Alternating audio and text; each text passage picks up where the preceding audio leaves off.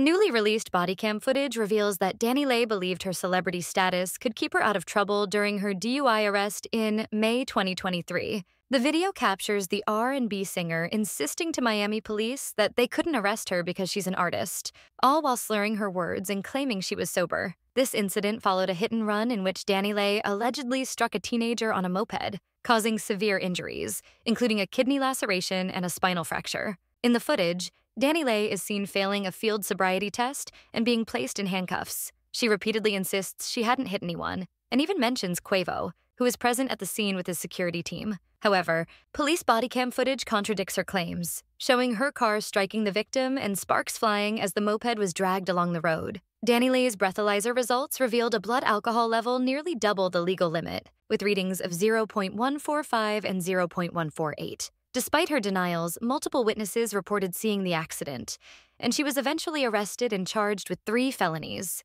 driving under the influence, leaving the scene of a crash with serious bodily injury, and DUI damage to property. In February, DaniLeigh pleaded no contest to both misdemeanor and felony charges, resulting in a conviction and a sentence of five years probation.